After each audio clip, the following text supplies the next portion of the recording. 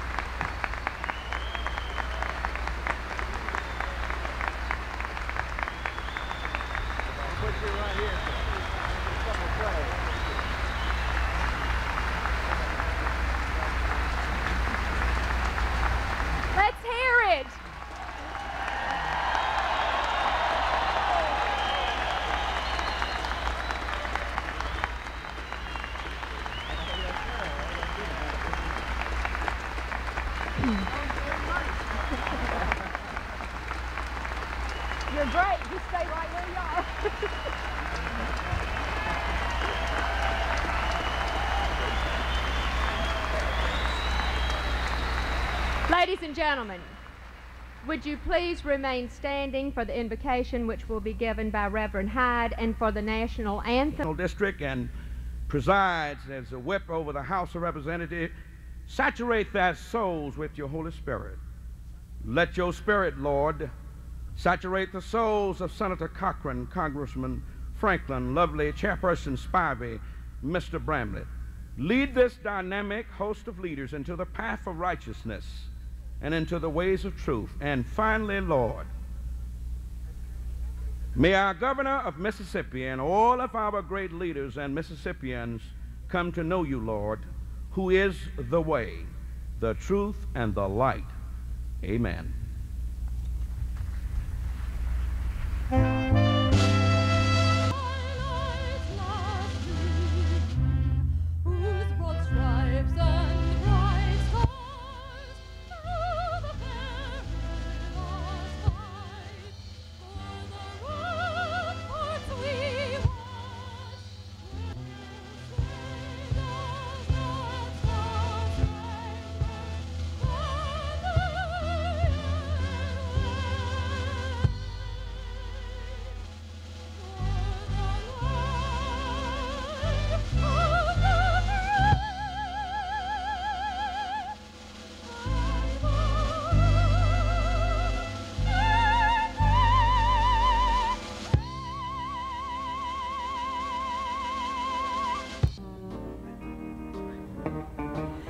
Giving all your love to just one man. You'll have bad times, he'll have good times, doing things that you don't understand. But if you love him, you forgive him. Even though he's hard to understand.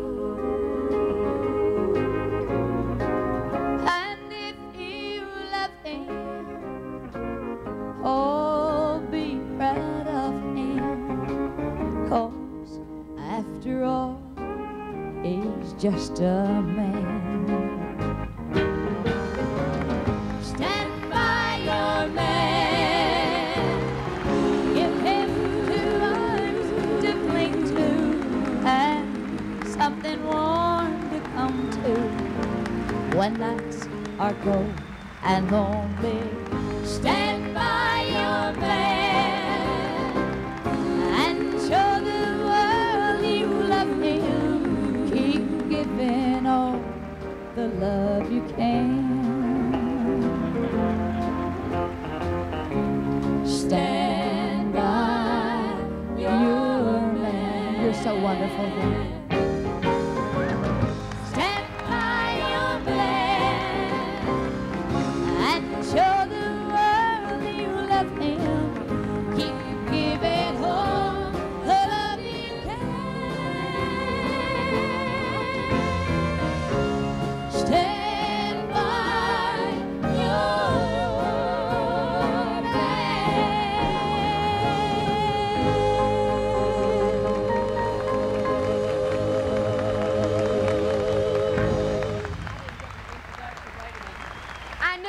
Would go wrong. Wait a minute, I have to tell you about this lady.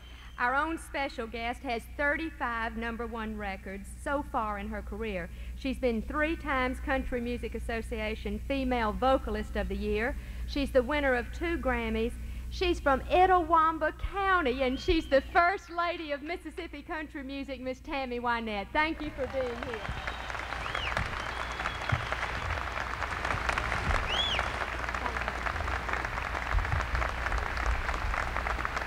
Talent providing this great music as we join here together with our great leader, President Ronald Reagan, all the members of our party, and everybody in Mississippi that wants to come together to work to make this state a part of our great nation and America great again.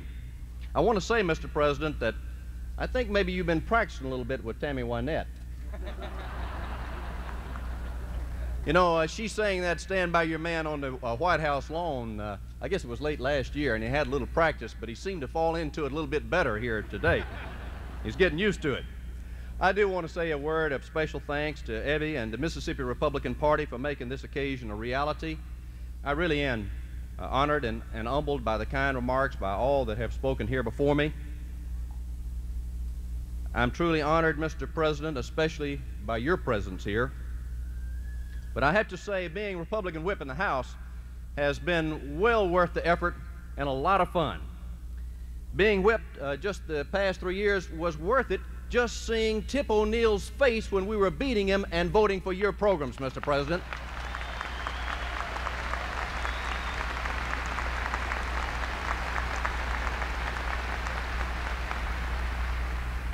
But the greatest reward of all is having a president who's working to return our government to the people and to make America truly great again. Aren't you proud that we have a president now that stands for something?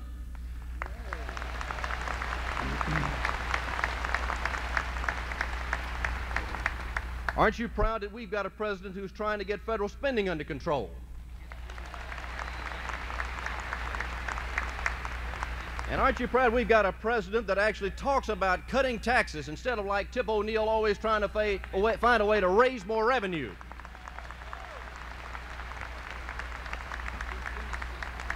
But especially here in Mississippi, Mr. President, we're proud that you are rebuilding America's defenses, and we're standing with you on that. Ronald Reagan, Mr. President.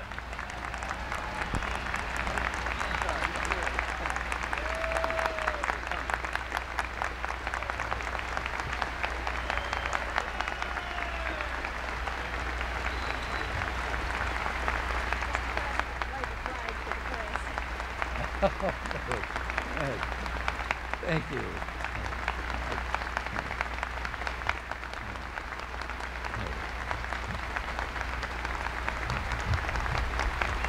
Thank you all very much. Thank you.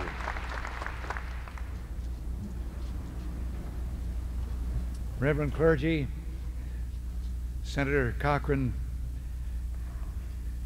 Webb Franklin, our honored guest tonight, Trent Lott, Ebbie Spivey, and all of you, I thank you for a very warm, a very wonderful welcome.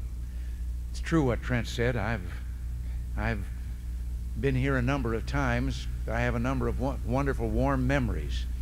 As a matter of fact, I was just telling Trent earlier today, I remember being here as governor of California, sitting in a box at Ole Miss with you were then Governor Williams.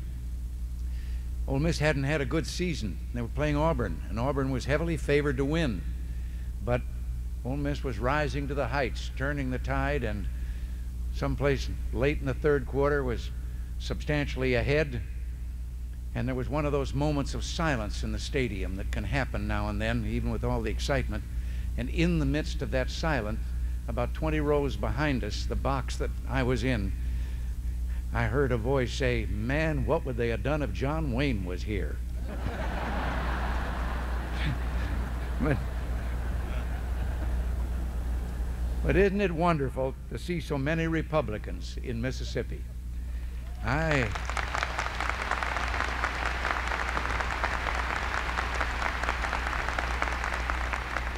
Times have changed and for the better. Former Congressman Prentiss Walker, who I understand is here today tells a story about his first campaign. He dropped in on a farm and introduced himself as a Republican candidate. And as he tells it, the farmer's eyes lit up, and then he said, Wait till I get my wife. We've never seen a Republican before. and a few minutes later, he was back with his wife, and they asked Prentiss if he wouldn't give him a speech. Well, he looked around for a, kind of a podium, something to stand on, and then the only thing available was a pile of that stuff that the late Mrs. Truman said it had taken her 35 years to get Harry to call fertilizer. So he stepped up on that and made his speech. And apparently he won them over. And they told him it was the first time they'd ever heard a Republican. And he says, That's okay. That's the first time I've ever given a speech from a Democratic platform.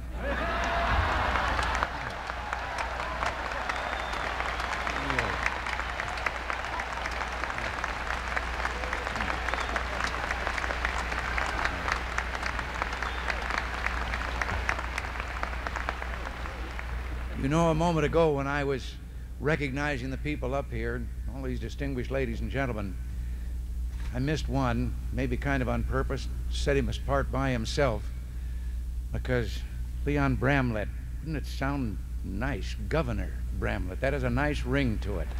Doesn't it?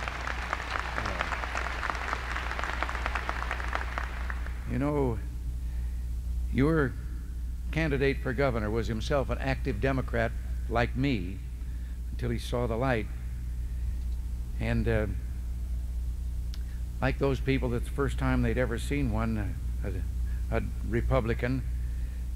Seriously, though, we have to understand the importance of reaching out to Democrats with whom we have fundamental agreement. Democrats, uh, we have little in common with the national and state Democratic platforms.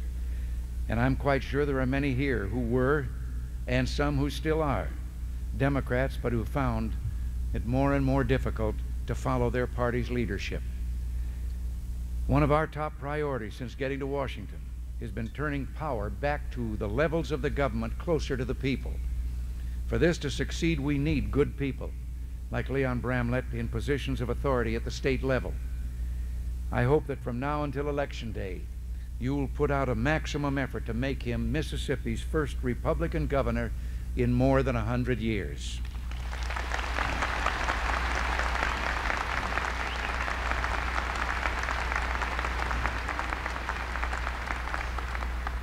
You know, when I remarked about Democrats being present, Leon and myself having been Democrats, seriously, I think it is time to point out that there are many fine patriotic Democrats in this country who are beginning to recognize that the present leadership of their party and the leadership in recent years has strayed far from the principles that once characterized the Democratic Party in the days of Jefferson and Jackson. They would no longer be at home, I think, with the present leadership of that party and what it advocates. Today we're honoring all your Republican office holders, but especially Congressman Trent Lott. Now, I know you're proud of him, and I only wish we had another 434 just like him in the House of Representatives. Trent began his political career as an administrative aide to Democratic Congressman William Colmer, a fine man who ably represented his state for many years. When Congressman Colmer retired and Trent ran as a Republican to fill his seat, the old man didn't know who to endorse. He loved Trent like a son, but at heart he was still a Democrat. Well, he figured that out because near the end of the campaign, this veteran congressman held a press conference and he mentioned that although he wasn't endorsing anyone, he wanted everybody to know that he was voting for Trent Lott. I'll take that kind of an endorsement anytime. Trent, I've got it on good authority that the turning point came when you went to visit the old gentleman and brought him a half dozen shot and clean squirrels ready for cooking. I think what we got to do is to get a large batch of Mississippi squirrels for Trent to bring back so that everybody in the Congress can have a big helping. Incidentally, on that dinner at Williamsburg for the press, they weren't the only ones that dined on catfish and hush puppies, so did the seven heads of state that were gathered around a table that night. And it was a marvel to see some of those with the gourmet backing of France and the cuisine of Europe tasting catfish for the first time in their lives and wondering why they had missed such a delicacy all their lives. That is-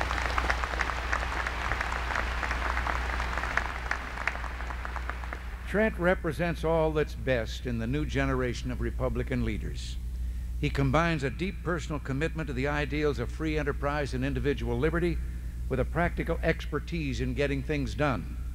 He's put together one of the best staffs on Capitol Hill and is admired on both sides of the aisle for his efficient handling of constituent problems. Yes, as you've been told, he's number two in the House minority leadership. And I pray that someday soon we will be saying the House majority leadership.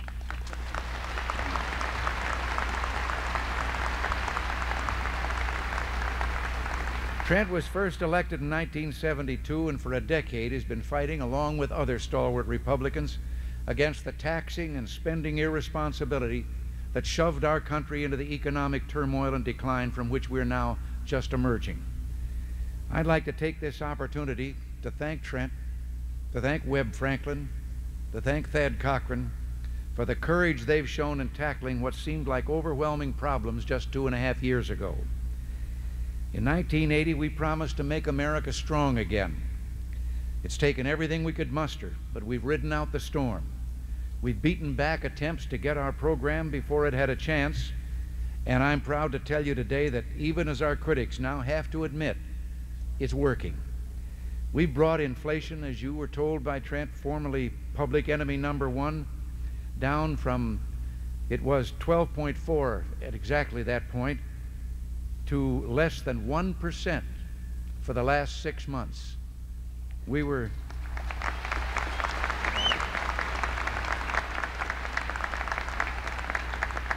And as Trent told you, we've handed, we were handed prime interest rates of 21.5%. We ignored the calls for a quick fix. We worked the prime, down slowly but surely to 10.5%. And that's good news for thousands of Mississippians involved in the construction and timber industries. Two, two and a half years ago, federal spending seemed out of control. It was rising at 17% in 1980 alone. We've cut that growth rate by 40%, but we must and will do better than that with your help. To finance all that spending, federal income taxes doubled between 1976 and 1981. And I heard a gentleman on the air yesterday on one of the polar panel shows, and he was talking about the terrible deficits that we now confront. Well, those deficits were very large and were the greatest that we'd had until that time in those five years in which taxes were doubled. The deficits went up. By 1980, many working people were being taxed at rates reserved for the well to do only a few years ago. Together, we've managed to reduce the tax rates 25% across the board and to index the tax rates thereafter so inflation can no longer push people into higher and higher brackets. Much of the economic turmoil we've gone through can be traced directly to overspending and overtaxing. Those who think they can pull the wool over the eyes of the voters and return to the tax and spend and spend and inflate policies of the past are badly mistaken. For my part,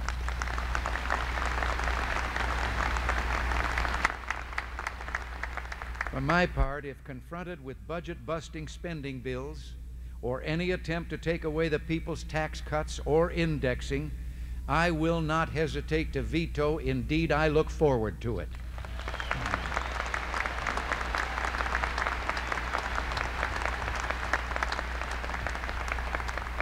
The big spenders, anxious to get their hands back in the public's pockets, are now trying to use greed and envy to undercut the economy building aspects of our tax program.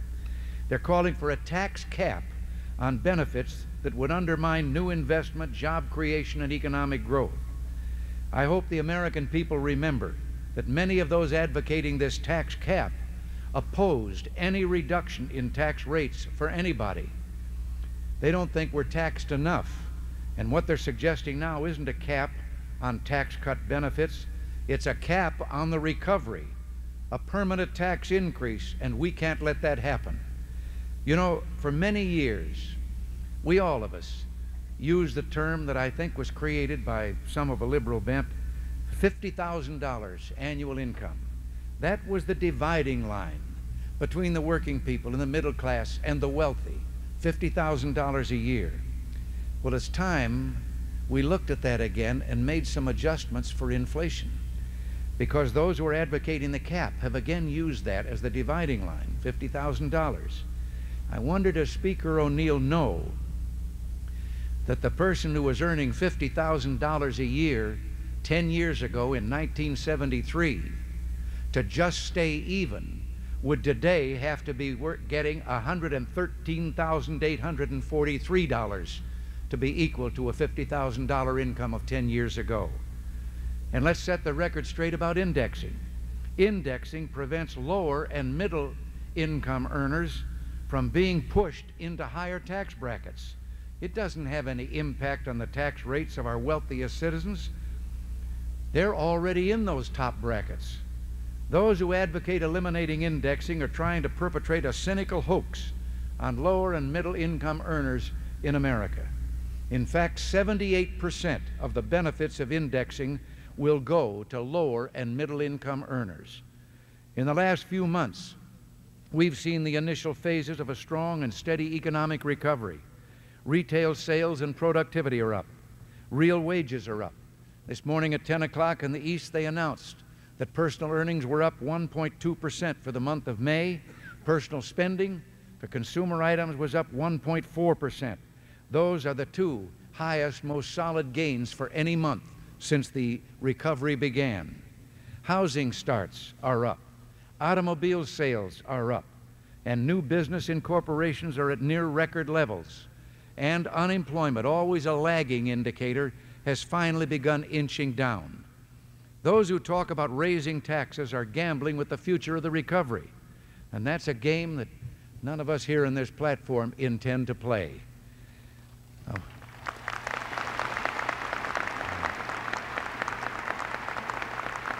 A weak, a weak economy wasn't the only cause for concern in the 1980 election.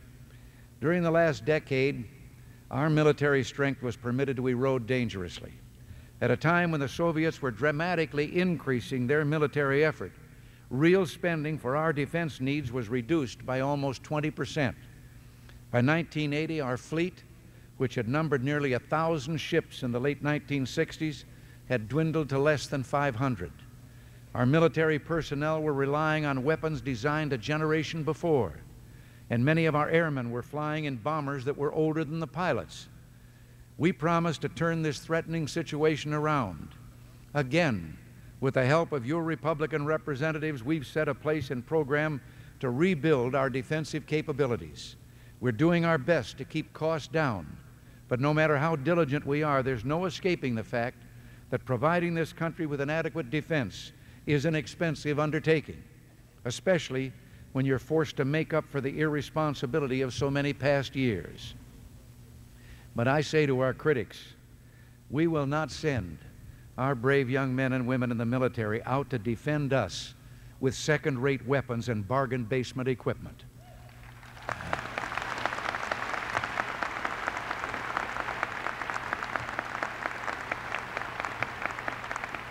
If they can put their lives on the line for us, we can afford to give them what they need to do the job right. And with those young men and women and the training that they're getting and the morale and esprit de corps they have, and with the proper kind of weapons, they won't have to use those weapons because no one will dare tread on us.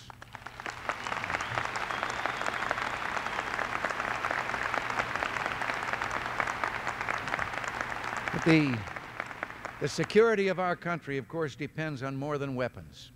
We must have the will to meet the challenges of an adversary who is constantly testing our resolve to defend our vital national interests.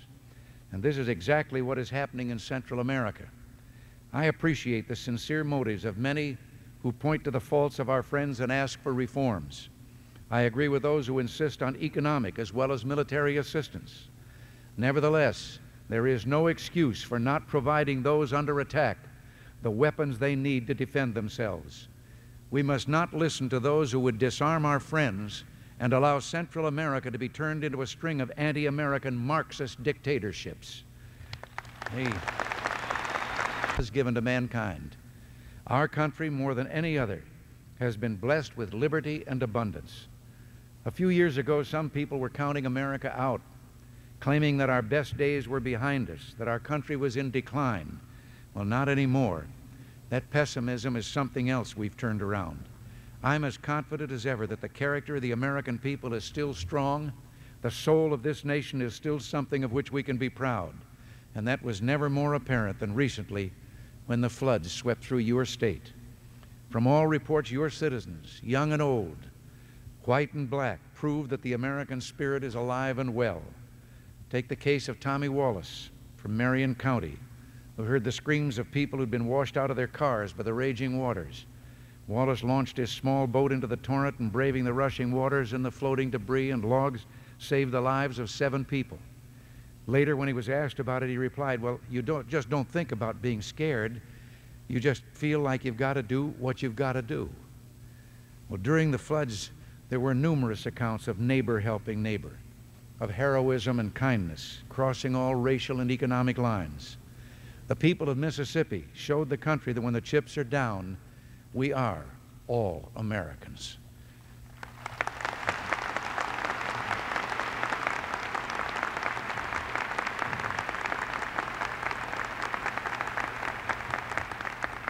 Today, we have a heavy responsibility. The future peace and freedom of our children and of all mankind rests on our shoulders. But we have no reason to fear. Instead, like Tommy Wallace and all good Americans, we'll do what we have to do. I just have to inject something here because we had a cabinet meeting this morning. It was on a subject that you haven't heard talked about at all, but it's something, the program that we've been under, had underway for about two years. And this is a program that has to do with something we had promised, and that was that we were going to make government smaller, we were going to make it more efficient. And we've had a task force working for two years now on the actual operations of government, not the programs that you hear about in the budget discussions, but how to manage things more efficiently in government. We had said that our goal would be that in three years we would reduce the size of the federal government by 75,000 employees, the non defense side, domestic side. Well, it isn't three years yet, but we're ahead of schedule because we've already reduced it by 65,000. Then there were publications.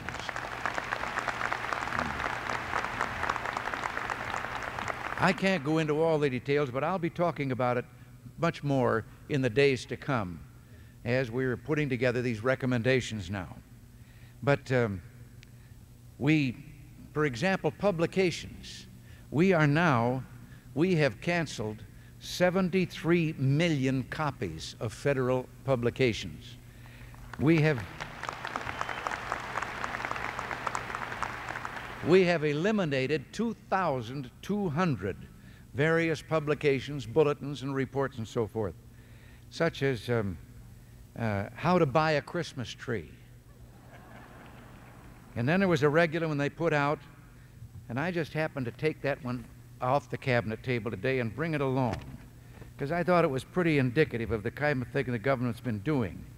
It's how to have a sparkling clean sink, kitchen sink. Now, the very top of it illustrates why they had to keep this bulletin out for you people. It said a clean sink helps keep you and your family healthy. A dirty sink often smells bad. It will attract bugs. For a clean kitchen, you need a clean sink. The last point is a clean sink looks nice.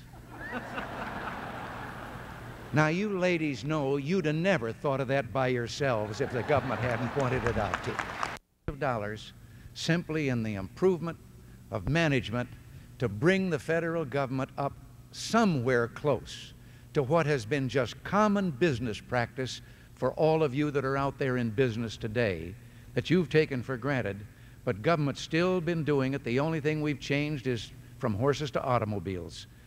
And uh, we're changing the rest of the government to come up to date at the same time. I know that we can count on you in the days ahead.